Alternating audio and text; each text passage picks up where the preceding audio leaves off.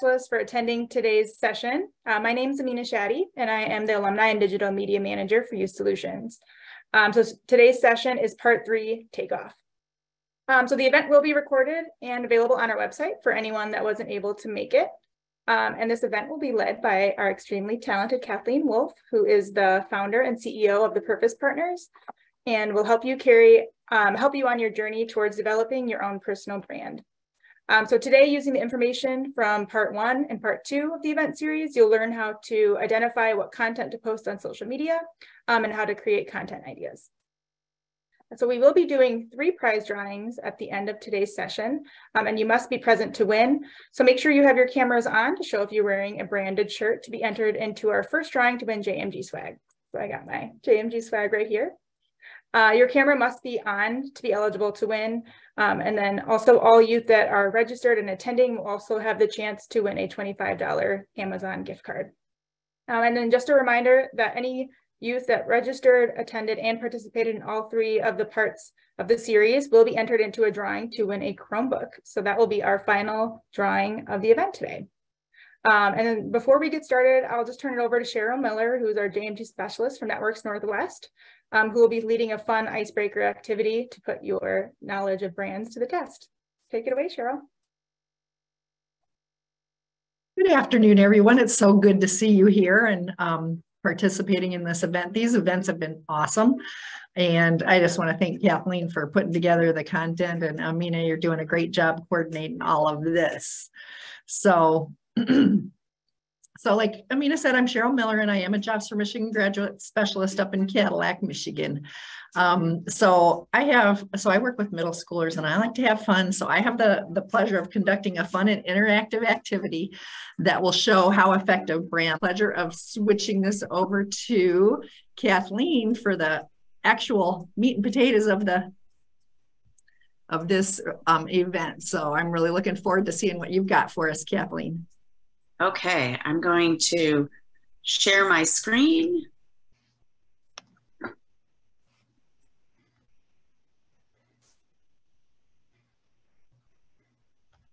And then, can you all see? Today we're going to talk about LinkedIn content that builds your brand. Yep. Well, the other thing I, I noticed recently is um, we started this series with building your personal brand and the latest Harvard Business Review talks about build your personal brand, how to communicate your value to the world. So I just want to let you know that what we started is very important and people are taking notice. So you already have a, a jump on others out there. So I really hope that uh, this time that you're spending has been valuable and that you put the content to use. Today, we're going to be talking about building content to help support your, your personal brand. But before I get to that, I want to do um, a, a quick review. So in these series, those of you who have been here, I see a couple of familiar faces. Thank you. You probably are aware of this. But those of you who haven't joined us before, what we've talked about in these series is, you know, brands really help you distinguish a product, service, or concept from its competition. And from that Kahoot, you guys know brands. And, and, and when you can recognize a brand, that adds value. So want to make sure you also know that you are also a brand. So how you project yourself in, in front of others is how you are branding yourself. Make sure that you are telling the story that you want. And, and we've talked about how to tell a, a brand story that helps you stand out from the rest. And finally, you know, we've been applying the personal branding to LinkedIn and, and it works for other social media, but, but specifically we've been focused on LinkedIn and building a, a LinkedIn profile will help you really create relationships with people who can connect you to opportunities. And that's what this is all about. So today, by the end of this session, you will understand the benefits of interacting with others on LinkedIn. I want to make sure that you feel like you have learned how to create content that helps you build your brand. And then ultimately, we're going to walk you through some prompts that'll help you build content that you can publish on LinkedIn because that will help you build your brand. So, before we get going, though, I, I want to ask a little bit about your LinkedIn post. So, in the chat, if you could say, which stage are you at? Are you A, I haven't created a post yet? B, I just follow others? C, I have posted, but not very often or consistently? Or D, I'm adding a lot of content and building relationships regularly. So if you can, in the in the chat, let me know which stage you're at.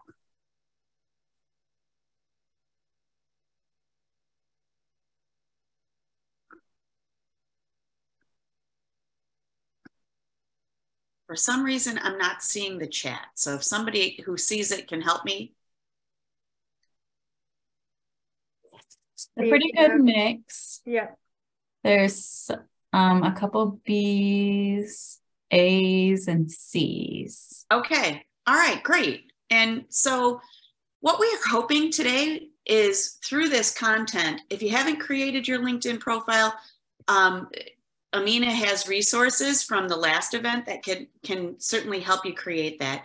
If you're just following others, my goal for you is that you'll feel comfortable uh, creating content, but following others is good. And so, my other advice is if you follow others, engage with their content because that will also help build relationships.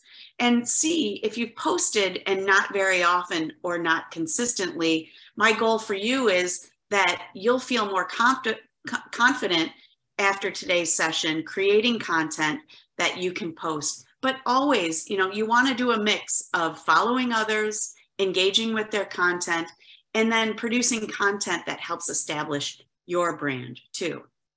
So let's get down to it. Um, you know there are oops, sorry.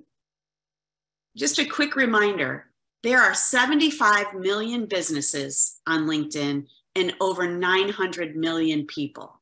So if you want to create relationships that will help you uh, in your education and career, LinkedIn is the place to do it. You can get to know about companies, you can get to know about individuals in a company. That's why it's important for you to be on LinkedIn. But I remember a while ago, my personal mentor, she always lived by this. She said, relationships are everything. And I think that you'll find that throughout your future, relationships will either help you, you know, learn something new. Relationships will help you get the job that you want. And building relationships with other people, you know, through business will really help you succeed in the future. So make sure that you have a focus on building relationships. Building relationships can happen in a number of ways. You know, they can happen one on one in person, they can happen through Zoom meetings like this. Um, you know, I'm getting to know, you know, Myrna, I know that you've been um, working in the school store. So you and I have never met, but based on the relationship that we've built through built th through these sessions, I know that you've participated in DECA. And so I know a little bit more about you. And so these are great opportunities to build relationships. But then also, you can build relationships on LinkedIn with people that you may or may not know, but you'd like to know, or you'd like to know more about their job, um, their role. And, and what I found is that people on LinkedIn are very, uh, they're very open to, to sharing with others. And so to build relationships on LinkedIn, you want to build content that is engaging. And, and why it's important for you to build content is that gives other people an idea of what you stand for, what you're interested in. So there's five tips that we're going to cover today for creating engaging content. The first is know your audience and engage. The second is to use visuals. The third is to create a strong headline and use storytelling, tell stories. Um, the fourth is be authentic. And the fifth is provide value. One of my biggest pet peeves on LinkedIn is when somebody connects with me and they try to sell me something right away. Don't be that person. Uh, you know, connect with somebody. Show that you're interested. Ask them questions so that you can learn about them. Or give them, you know, hey, I see you post about this topic a lot. I know this about that topic. So I think you might be interested. That's a way of providing value. But let's dig into these tips um, a little bit deeper. The first one is know your audience. First of all, who are you trying to connect with? So, um, you know, if you're interested in marketing, you can search for people who have jobs in the fields of marketing. If you're interested in um, in being a chef, look for people in the in the restaurant industry. You can search for those types of uh, people using the search function of LinkedIn, and then look at what they post. So find out what they're interested in, and then figure out what you're interested in, and where there's an over overlap. When you see that, that is an opportunity for you to connect and build relationships. Just like you would if you you know went into somebody's classroom and you saw a picture of uh, you know a product or see them wearing a logoed shirt. That's your opportunity to ask someone a question and start to build a relationship. On linkedin figure out who you're trying to connect with understand where your interests intersect with theirs and then start a conversation either on their posts or through messages. It's really simple. The number two tip is use visuals because when you're posting, there are people who will post, um, you know, longer text posts. And what we found is that those type of posts don't get that um, that much engagement when you're using visuals like these here, the one on the left happened to be from Western Michigan University that they posted yesterday about some of their graduation activities. And then the one on the right with the dog is actually a company called River Ridge. And uh, they're an apple grower in Michigan. And, um, but I thought what was interesting between the two is that Western Michigan, down in the, the bottom, they have a picture of a dog and River Ridge, even though it's an apple growing company, what they talked about is that apples can be uh, good nutrition for a dog.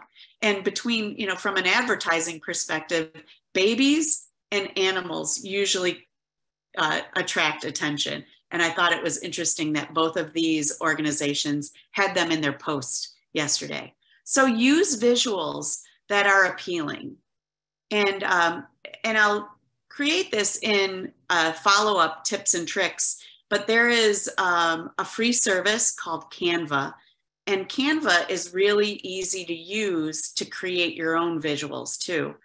So um, when you're trying to attract attention on your LinkedIn post, get creative and use visuals that support the story that you're trying to tell. The third tip is grab them with a headline. And so this happens to be a business focused headline from a company called Consulting Success. And, uh, but, but I thought it was a, a great example because what they did is their headline is from $10,000 consulting projects to $60,000 per project with fewer hours worked. So what they did is they knew their target audience. Their target audience wants to make more money in less time. So that's a great headline that captures their attention.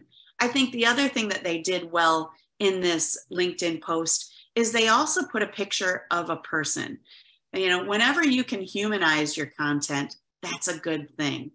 And then they have their logo there you know, you as an individual, you might not have a logo, but you might have colors that you use regularly. You know, when we talked about branding, you might you might create your own logo. So something that would help you stand out. So think about those opportunities. But for this, grab your the the people that you are trying to attract with a catchy headline. Any questions on that? All right. Well, the next tip is be authentic. And um, I happen to be on on spring break, and I don't normally work while I'm on spring break, but I thought it was a great opportunity for me to espouse some of the the values that I talk about in my in my company. Um, it wasn't a pre-planned post, so I put that out there. I was a little, um, you know, vulnerable. There wasn't a lot of thought behind the post, and so I I said that right away.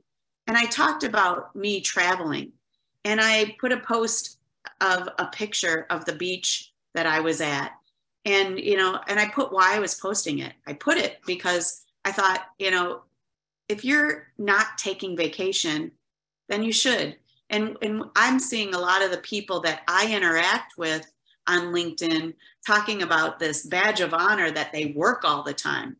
Well, you know, they're going to get burned out. And then, um, you know, the, the second reason that I put this is that I think it's really important that that people spend time taking care of themselves. So this was just a post that I thought was very important for me to, to encourage others to take vacation. And then the last thing I want to po- point out on this post is down towards the end, I, I asked a question How will you rejuvenate? And the reason why I ask questions at the end of my post is that I want to encourage people to interact with the post and, and leave comments. So that's just one trick on how you can be, you know, show something about yourself, be authentic, but also, you know, use questions to uh, encourage people to participate in your posts. The last one is, is provide value. And, you know, provide value, it, it doesn't have to be something that takes a lot of time or costs money. But when you figure out what people who follow you, or if you have a special talent that others might recognize or appreciate, provide that on LinkedIn. And so a lot of people who follow me are, are women who are interested in building their careers. And, and, and what I found when I was building my relationships with these women is that oftentimes they, they lack confidence. So I created a little resource based on my um, research to help them figure out what they're really good at and then get the confidence that they need to be successful in their work. So I created this little workbook and I put a post out there offering it out there for free. So that was my way of providing value to the people who follow me. But I encourage you to think about what are your unique talents? What do you know that somebody might be interested in? I mean, Tristan, you said earlier that you know a lot about Legos. You recognize that logo. And so, you know, if there is a way that you used Legos to um, accomplish something, or maybe you built something that you're proud of, that's a that's an interesting way to stand out. Take a picture of that. Show that on on on LinkedIn. Or, you know, if somebody has a problem finishing a, a Lego project that you might have completed, you could offer a tip on, hey, here's how I how I approach Legos. And, and, and that could be some value that somebody else would appreciate. So figure out what you uniquely can bring to somebody else and offer that up because people will notice and they will appreciate it. So those were five quick tips and really now, though, what we want to do is spend a little time creating content. And before we get into creating content, you know, things that that you might consider in building content for your LinkedIn is share something that inspires you. Answer a common question that you get asked. Or ask a question, create a poll. You know, if you're interested, I create polls uh, often like if there's something that i want to know and i'm interested in hearing it's a great way to engage the people that follow you. Predict the future. Um, who knows?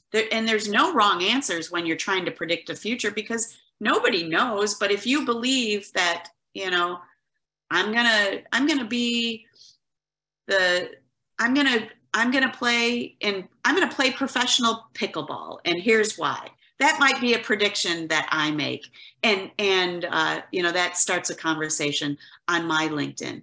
But make a prediction that that means something to you, or you could create a top five or a top ten list, like I've shown over to the right of this page. Um, you know this this person, uh, you know, is ending their their first 10 years at a startup. And so that's what they've learned. You might share some of the things that you've learned in the JMG program. So what we're gonna do right now is we're gonna break you up into groups and I want you to talk in your groups about what a post might look like that would tell others about your experience with the JMG program. And if you could, write that out because afterwards, uh, we'd love for you to share that. And then Amina and Kelsey will use that on their on the Youth Solutions social media. Wants to share a post that post idea that they had that came out in the, the breakout rooms. We're not open yet.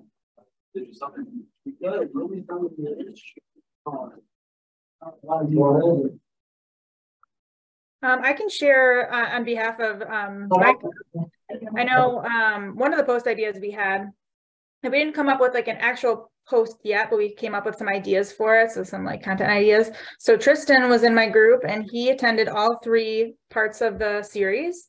Um, and before the event, going into it, he wasn't super familiar with social media or LinkedIn.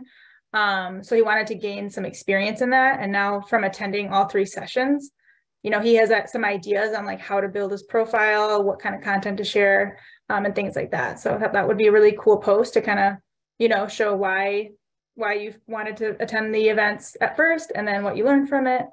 Um, and then you can start building his profile that way.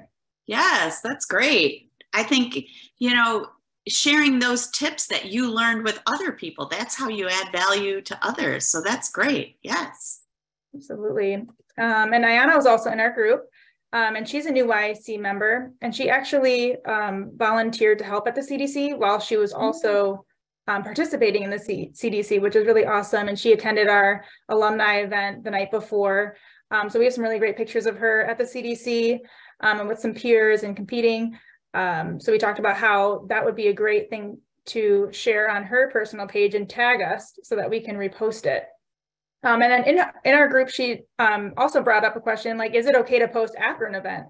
And we said, absolutely. You know, it's like sometimes when you're in the event, it's, you know, it's, you just want to enjoy the moment. And then after you've had some time to reflect on it, sometimes that's when you get the greatest post because you can really reflect on your experience, share some great pictures, um, things like that. So we're definitely I, I agree. And and really ideally you would post before the event saying, hey, I'm gonna be here, and then post during the event, maybe a picture of the event, and then post after. Here's what I learned. So, you know, for for me, I think, you know, there there's one event that can get you three really rich content ideas. So yes. Great. Does anybody else want to share?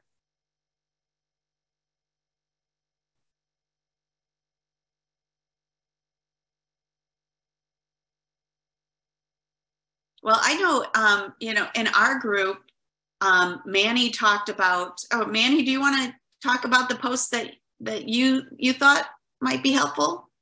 Um, yeah, for the post that I thinking of, or like an idea for the post was to, for me specifically, like I was inspired by the people within my program when I was in school, and now I continue to be inspired by everyone, but specifically, one thing is I got to speak to my old JMG class, and since I've left, it has shrunk but I went and did a presentation, and after my presentation, it has grown, and they were actually able to attend the CDC, and they got number one on their marketing video, and I continue to be inspired by them being able to conquer being smaller program and getting things done like that.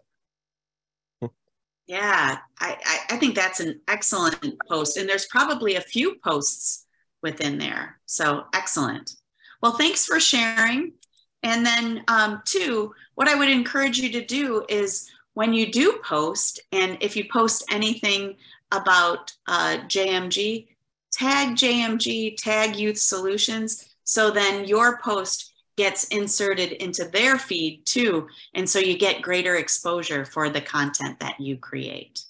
I will follow up and, and get some additional tips and tricks to Amina that she can send out as a as a follow-up after this session. But I really appreciate everyone attending and, and their engagement. Are there any questions before I turn this over to Manny?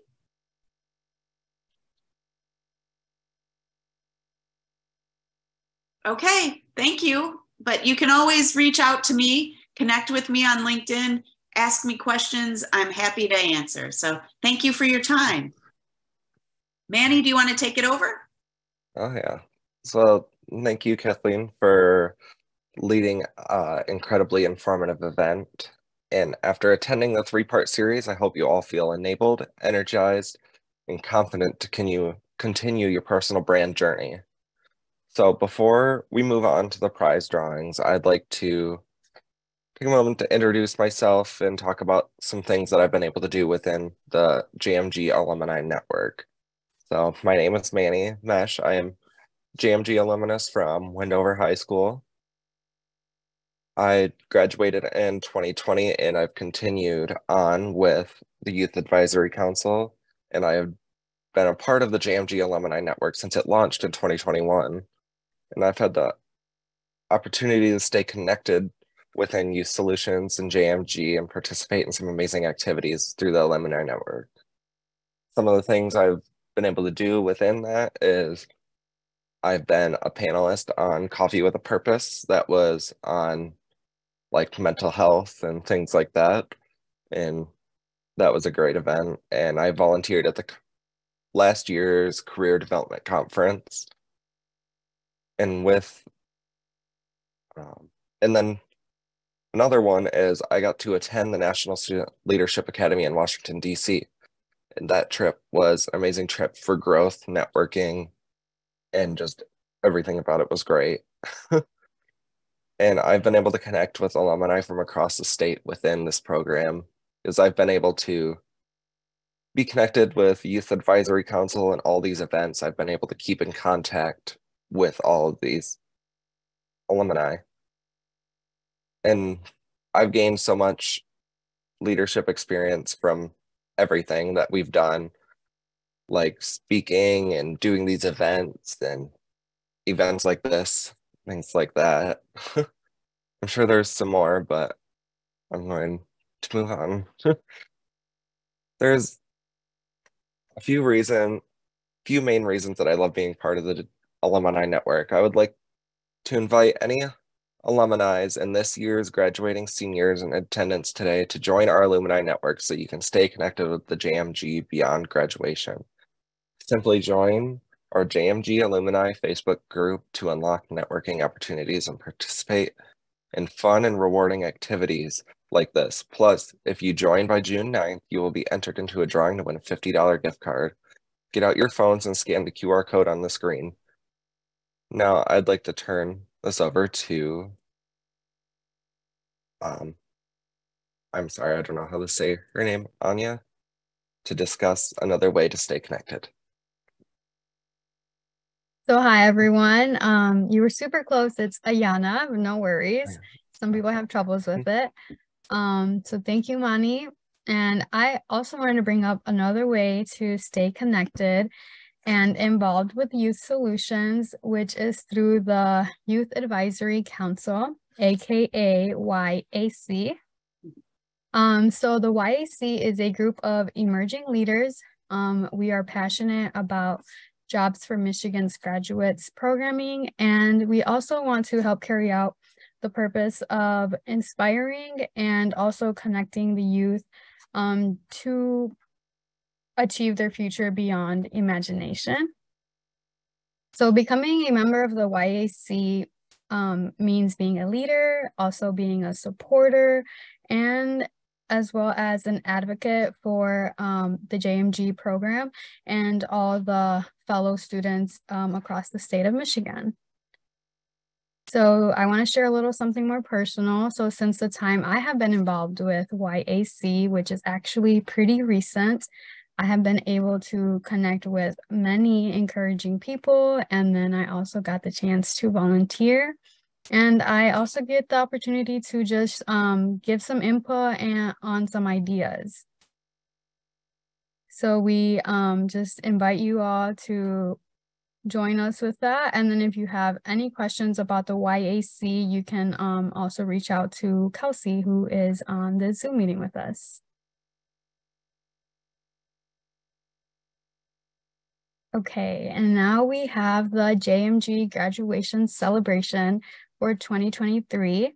Um, we invite you all to register for this. This um, is on behalf of the YAC, so we plan it, and it features guest speakers, fun prizes, and some more stuff.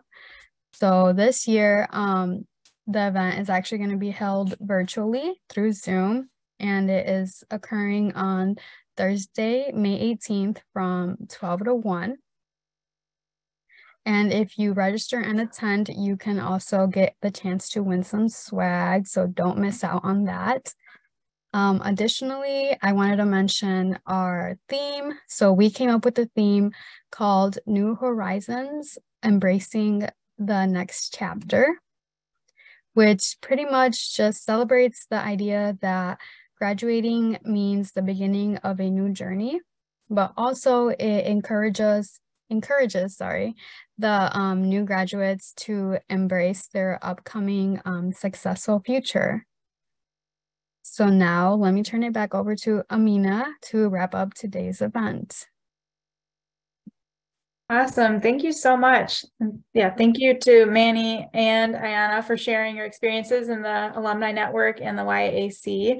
We are so grateful to have you both so involved and, and committed to JMG and Youth Solutions. So thank you so much for being here and, and your involvement in general.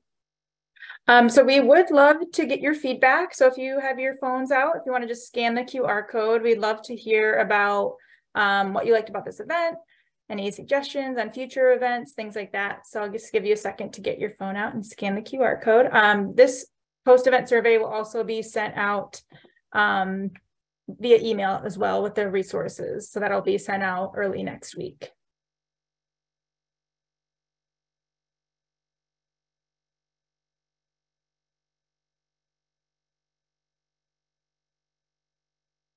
All right, Kelsey, you can go ahead.